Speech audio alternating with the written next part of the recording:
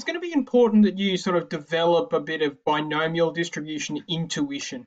You want to know when you get your answers whether you're right or or wrong or whether it kind of makes sense or doesn't make sense. So we're going to run through some different uh, binomial distributions and look at what happens when we change the probability of success or failure. So the first one we're going to do is a classic flipping a coin heads or tails. Uh, now let's take a look at what a binomial distribution of a coin flip looks like. Um, here we have a binomial distribution. Now I'm going to flip this coin 10 times uh, and you can see that I've got 10 trials.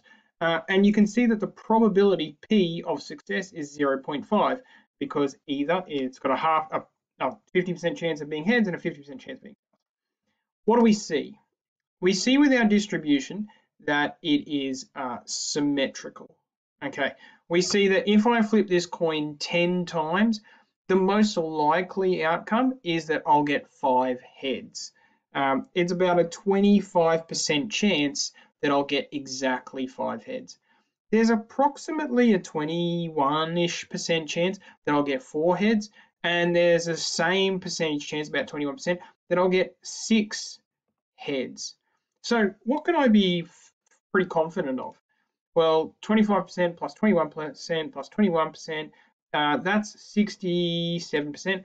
I have about a two-thirds chance that when I flip this coin 10 times, I'll get four, five, or six successes.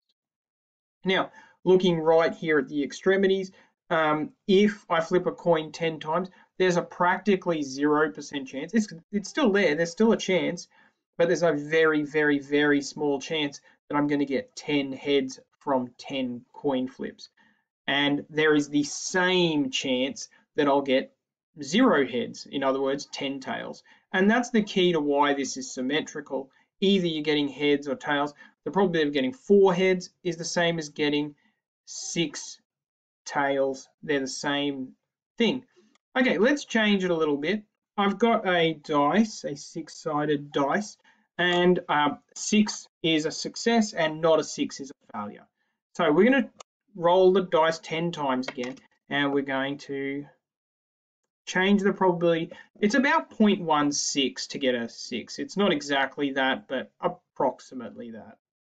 All right, so what do you see? In terms of our distribution, it's change, it's skewed. We call this type of skew a positive skew. I know that feels sort of backwards, but this is a positively skewed graph. Um, you can see that if I roll this dice 10 times, there's only like a point, there's a 0.17, 0.18 chance that I'll get zero sixes.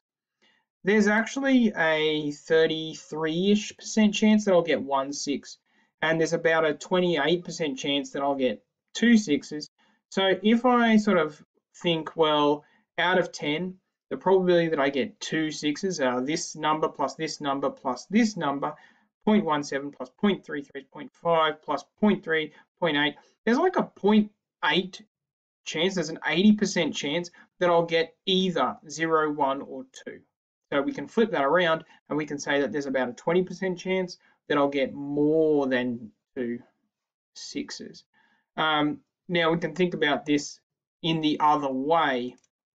So we can skew this the other way.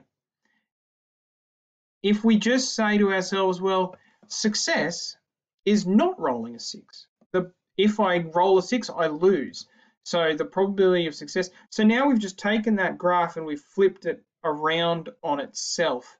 And we've said the probability of getting 10, 10 non-sixes, that's going to be our success, is 0.17, 0.18, something like that. The probability of getting nine non-sixes is 0.34. So that's just the, the reverse of that. They're the same graph because they're considering the same phenomenon, just assuming different things are success or failure.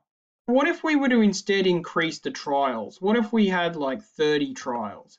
What does that change about our graph? Let's, let's zoom in on our graph. So we got the 30 in there. Let's do our 30 trials. Okay, and we get something that looks like that. uh, 30 trials and the probability of success is 0.84. Just zoomed the y-axis a little bit so you can see here what that looks like.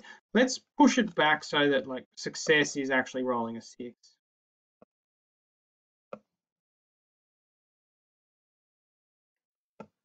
You can see that the probability of rolling zero sixes in 30 trials, it's still kind of there, uh, 0.02. Uh, so there's like a 1% chance, a little less than a 1% chance that you're not going to roll any sixes out of 30 dice rolls. Um, and you can see that we get this little skew here. Now, it looks like there's like nothing here.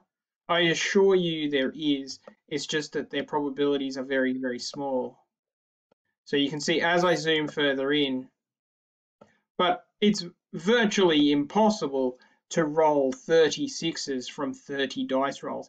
So there is a number like down here, there is a little bar here, but it's so, so tiny. And we can do like a pack of cards here, and we can say, you know, uh, if you pull a heart out of the pack, you win.